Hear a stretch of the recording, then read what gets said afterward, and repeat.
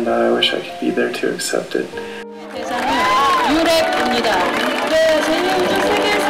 Kuchka's Luchka's family was always there waiting for him.